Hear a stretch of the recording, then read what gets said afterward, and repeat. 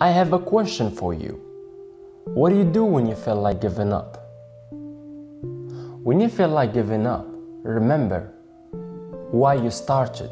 When you feel like giving up, remember what are you doing it for? When you feel like giving up, remember pain is temporary. But greatness lasts forever. When I feel like giving up, I remember there is too many people I need to prove wrong. When I feel like giving up, I remember I have too much to fight for. I will not give up, I will not. Whatever you think is your limit, push past it.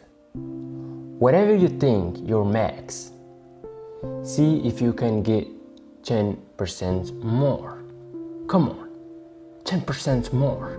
When you feel like giving up, give me 10 more. Come on. Just 10. 10 is nothing, but it means a lot.